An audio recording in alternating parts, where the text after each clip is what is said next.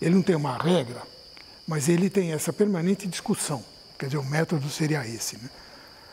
É, no fundo, o método é entre a sensibilidade, vamos dizer, e, e, o, e a cultura. Né? Ah, ou como diria o Vivaldi, il cimento dell'armonia e dell'invenzione. Né? Se você tem o impulso da harmonia, você tem o impulso da, o impulso da invenção. Né? Então, aí você tem uma luta entre eles. Né?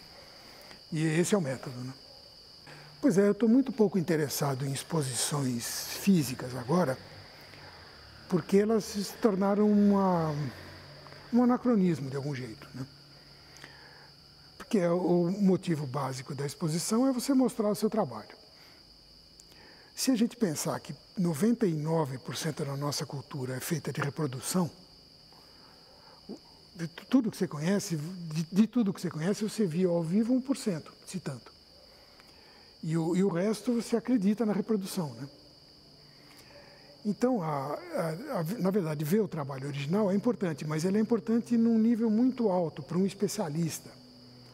Porque o trabalho tem uma materialidade, ele tem uma textura, ele tem uma superfície, uma coisa que ainda a reprodução não, não alcança.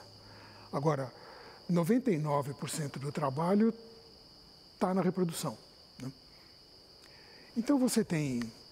Hoje, em vez de fazer exposição, por exemplo, eu tenho esse site meu na internet que tem absolutamente tudo tem todos os trabalhos de todos os anos, tem uma reportagem de todas as exposições que eu fiz, é, textos que eu escrevi, textos que escreveram sobre o meu trabalho, é, referências de outros artistas.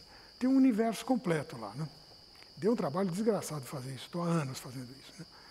E, mas é, eu, de certo modo, eu tô, a minha exposição é muito melhor na internet do que numa galeria. E aí eu, e o vinho branco é, é melhor também, né? O vinho branco da galeria normalmente é muito ruim.